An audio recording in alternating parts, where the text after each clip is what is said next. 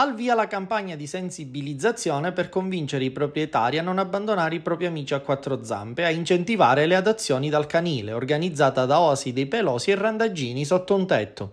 A parte una serie di post con hashtag su Facebook, alla campagna ha contribuito il videomaker nisseno Roberto Gallà con un simpaticissimo spot che vede nelle vesti di coprotagonista Ugo, l'affettuosissimo cane dell'artista nisseno che noi stessi della redazione abbiamo avuto il piacere di conoscere tempo fa nel corso di un'intervista.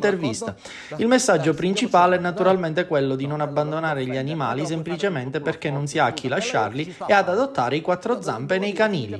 Se cercate eh, un vero amico, lo potete trovare nei canili, giusto? E poi diciamo non abbandonate gli animali perché se no eh, ecco, ci arrabbiamo io e Ugo. Va bene?